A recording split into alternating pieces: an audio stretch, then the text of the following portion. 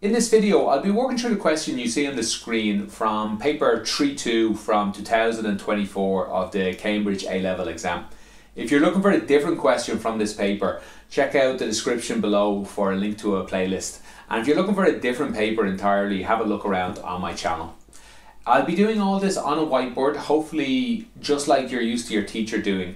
But remember, we're not in a classroom, we're on YouTube, so take advantage of that. Use the pause, uh, rewind, and fast forward uh, buttons.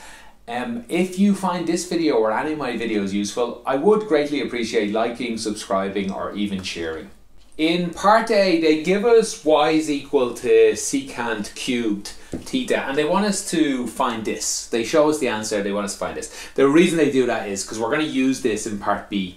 Uh, part B is already long enough, um, so they want to make sure we have this. Still, how do we find this? They remind us that secant cubed, or secant in general, is 1 over cosine. Uh, so cu secant cubed is uh, 1 over cosine cubed. So how do we get from that to this? Basically, we want to differentiate this. So let's write it out again. y is equal 1 over cosine cubed theta. The derivative, we're going to have to use the, the chain rule here. So the derivative of 1 over x cubed, that's easy to do, or x to the power 3.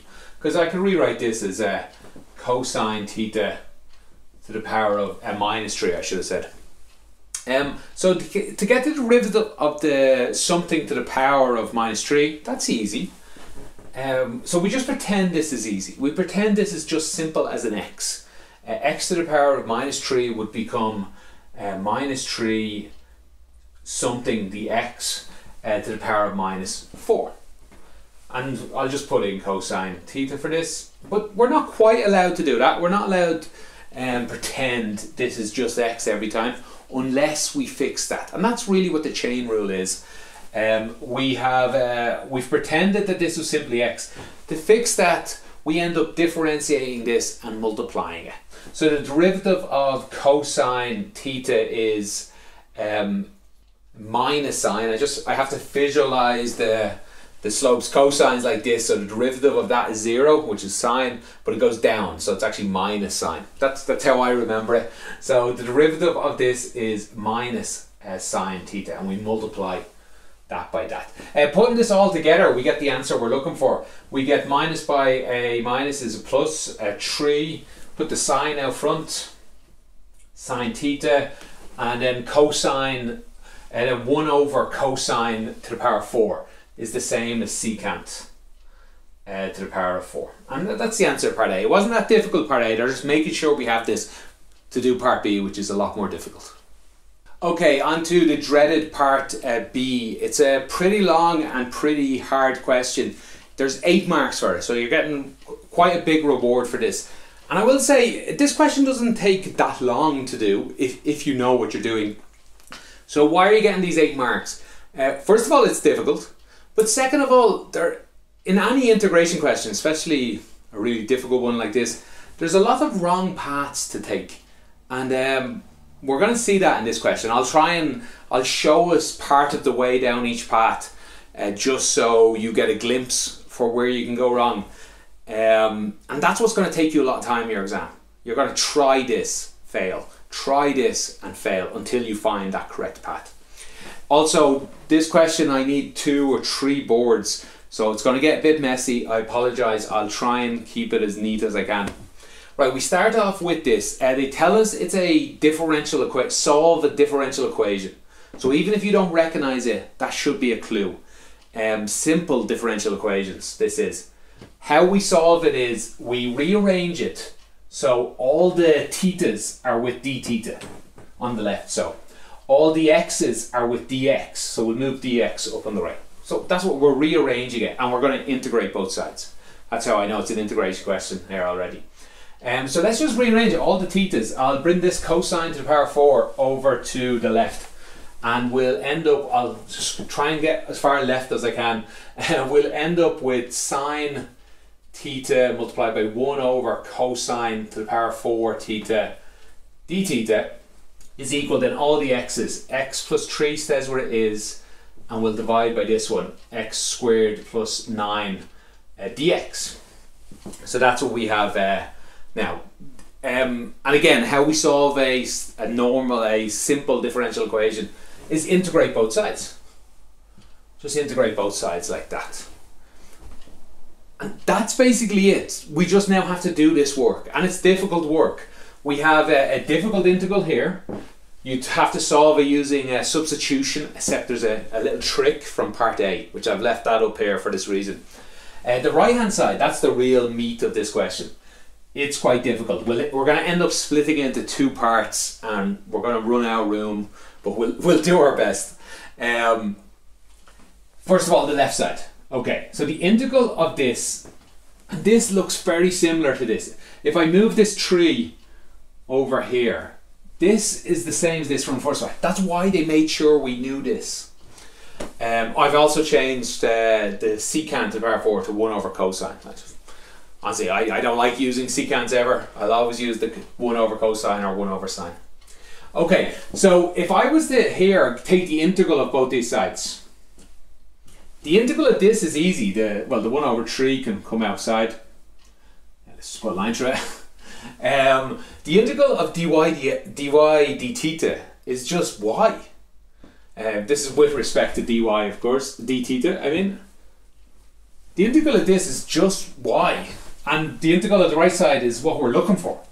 So really, this just becomes one over three y um, equals still the same here. The problem is there's no y in this question. Where did where did y come from? It's from part A. So can't leave y. We'd need to leave uh, 1 over 3 times 1 over cosine uh, cubed theta. Um, sorry, keep that under. And that still equals all this. And that's what we're going to try to solve now. Um, yeah, let me write it in again. Uh, x plus 3 over x squared plus 9 dx. So like I said, this is the main part of this question. This is what we really need, want to get our hands on. Uh, how do you go about solving this? I uh, to my students, I uh, suggest uh, a few things to think about. The first thing I suggest, I'm going to skip for now because it happens to work, um, and I want to show you some of the other paths you could have taken to go wrong. I'll even write some of them down because we're going to use them anyway. When I look at a question like this, uh, sorry, the first part was is algebra, moving things around, but I'll skip over that for a moment. Uh, some things I think of is substitution. And um, the idea would be to substitute the most complicated part of this, and hopefully it cancels the other part. So, um, substituting the bottom row, I'll write it down because, like I said, we'll end up using it. Um, I'll, I'll leave it all out of the way though. Uh, u is equal x squared plus 9. If I substitute the bottom row, that'll be useful. Or maybe it would be. And when we substitute, we end up, uh, we differentiate, because we want to replace the dx. So we differentiate to find dx as 2x there, rearrange it, and we get dx is equal 1 over 2x uh, multiplied by uh, du. No, yeah, du. That's why when I say we substitute or use the chain rule, we end up differentiating things and dividing in integration. That's where the dividing comes from. So this could be a wrong path you take here. You could try this substitution. But think of what, would happen. The bottom row would become u. That's okay. And the dx, an x would appear here. And you might think, oh, that'll cancel the x. I'm, I'm on the right path. Problem, it doesn't, it still divides into the 3. So you're still left with 3 over 2x and now you'll only have a du here, so can't integrate that. So it, it, looks good, and it looks good because it will be good in a moment, um, but it's not the right path.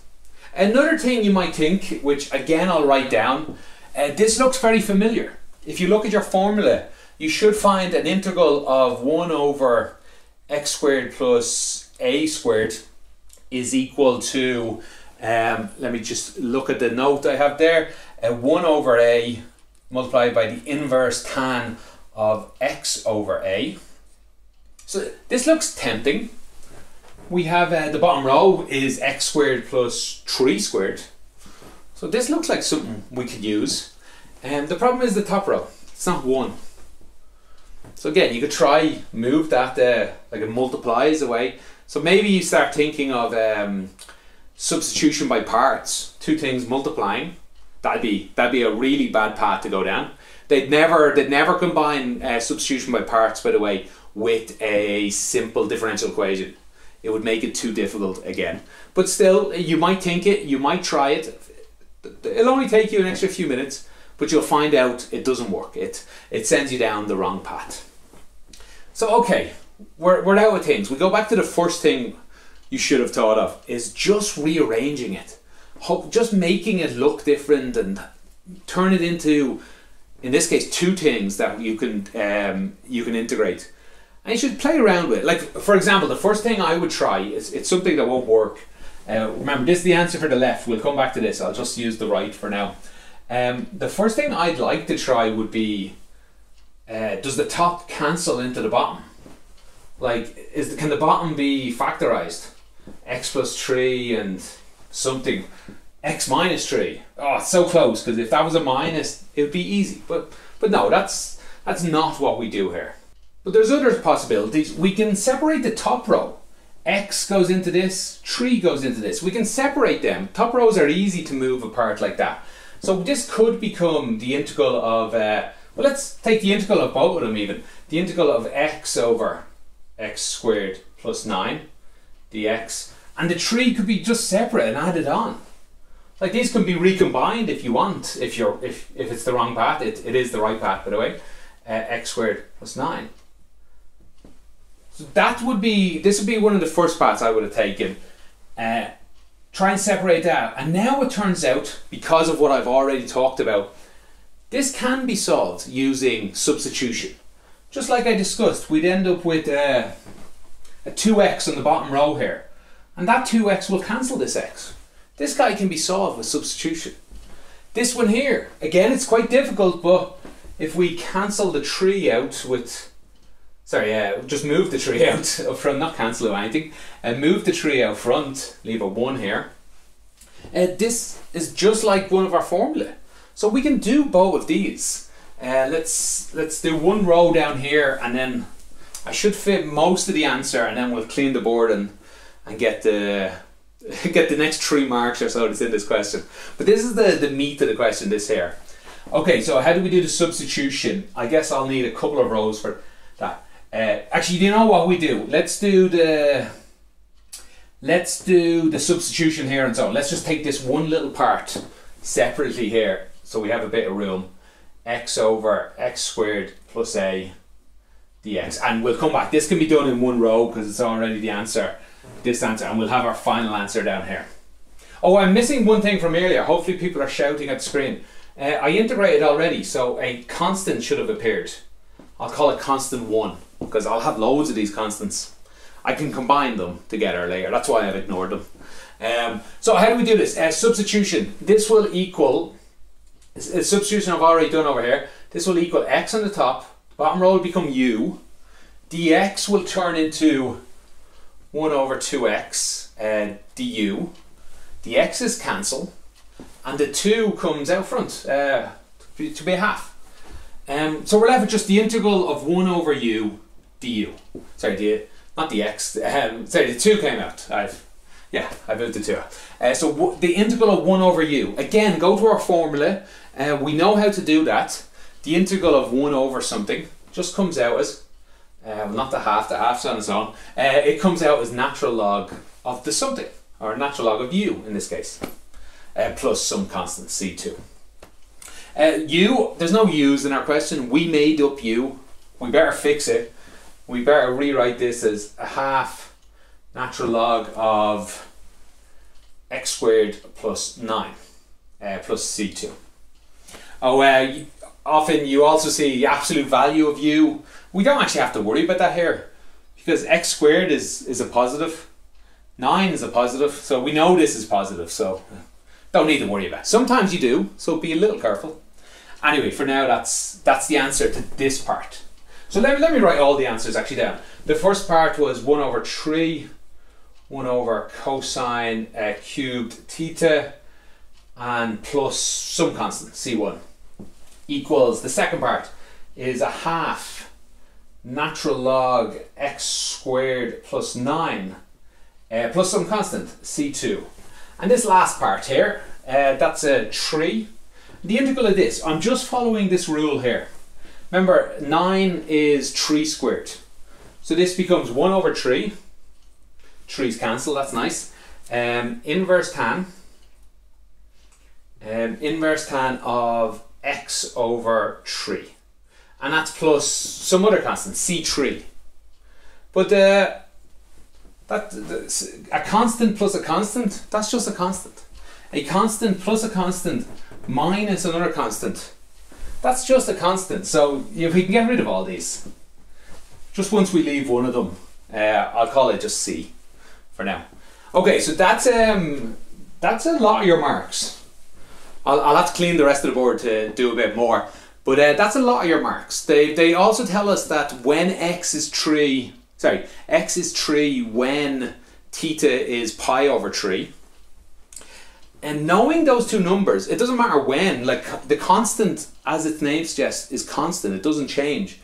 So if we know these numbers at some point, we put them in and we'll find out what C is. That's what I'll do next. And then they still go on to ask, what is cosine theta uh, when x is 0? So that's so still more marks to make here. Uh, let me clean, I think pretty much everything. I don't think I need anything except this equation. I'll leave it down the bottom to save me uh, writing again. And uh, then we'll find C. Okay, after a lot of integration, we've got this equation here. We still need to know C. Sometimes the question ends at this point after we find C at least. So let's find C. They tell us that X is equal to 3 when theta equals pi over 3. So we just fill all these in. And the only number that'll be left will be C. So um, cosine of pi over 3 is a, let me write all this out here again. This is a third um, that's a 1 over, if we put co cosine pi over 3 in, we get a half. So it's a half cubed. That's um, That'll turn into an 8, I guess, 8 over this 3. And this will equal, let's see, a half natural log of 3 squared, uh, which is 9, 9 plus 9, natural log of 18. Um, let's see, if we put in a 3 here, uh, the inverse tangent of one, uh, 3 over 3 is 1, and that will come out as pi over 4. 3's cancel, so we're left with uh, pi over uh, 4. And then finally we have C. Nothing can be really cleaned up too much. We just rearrange this so we get uh, C is equal, let's see, this will become an 8 over 1, uh, so that'll become 8 over 3 and this will be a minus, minus 1 over 2 natural log 18. And this will become a minus, minus pi over 4. Now, uh, looking at my own notes there quickly, I actually have 3 times this, 3 times this, 3 times this. That's because I multiplied everything by 3 down here. And instead of this C, I have 3C. But it's this, what I'm trying to say is you can get different C's at this point. Like, remember I had constant 1, 2, and 3. Um, I've added them all together here, but you could also have multiplied it by 3. So I guess, um, yeah, you could end up with different constants. I'm just thinking they'd always have to be, I guess, just this. The, the ones you'd really get is either this or this multiplied by 3. So multiply all these by 3. If, if that's what you have, you're probably still okay. Um, it'll all come good in the end. We can get, get different constants on the way through though. Okay, now that I've got the constant, let me write this whole equation out again. Uh, let's do it here and I'll give us lots of room to work with. Um, so this equation becomes 1 over 3, 1 over, fast forward this bit I think because it'll just take me a lot of writing. A half natural log x squared plus 9 plus, let's clean this up, that becomes uh, inverse tangent of uh, x over 3 plus c, but c now is 8 over 3 minus 1 over 2 natural log 18. I'm running out of room here. Uh, minus pi over 4. Again, this is why uh, if you got if you got a multiple of 3 of this, well, I'm about to multiply by 3 now, so that's that's why um, you would have got that. Okay, so this is the equation. They never really asked you for the equation at the end, but this is the differential equation is solved you now, if, if you give me an x, I can give you a theta. if you give me a theta, well, I'll have a bit trouble, but I can in theory find you an x. And that's that is what they do. They they give you x. They tell you x is equal to zero, and they want cosine theta. So we can put x is zero in here and find um, one over three cosine cube theta. Then we just uh, multiply by three and get the uh, cube root, um, the inverse cube root, in fact. So it can be done. Let's just do it here. It's it's going to take a while. Uh, let's see, while I'm doing it, I'll multiply everything by 3. So I get 1 over cosine cubed. I probably should have multiplied by 3 here and, and, and got it done with. Um, so this will equal, this multiplied by 3 is 3 over 2. Natural log, remember x is now 0. So natural log of 9. Um, this multiplied by 3 won't matter because once I, the inverse tangent of 0 is 0. So that's gone. Um, 8 over 3 multiplied by 3 is 8. Um, minus this multiplied by 3 is 3 over 2. Natural log 18. Minus, uh, 3 over 4 pi. Okay. Um, at this point you can rearrange it to get uh, cosine theta equals. But honestly I'd suggest just putting this in a calculator at this point and then rearranging it. Um, I've done that here. Um, so I would get 1 over cosine cubed theta is equal, and I'd leave this on my calculator because I want the exact number, 4 point, um, 4.604 and so on, goes on for ages there.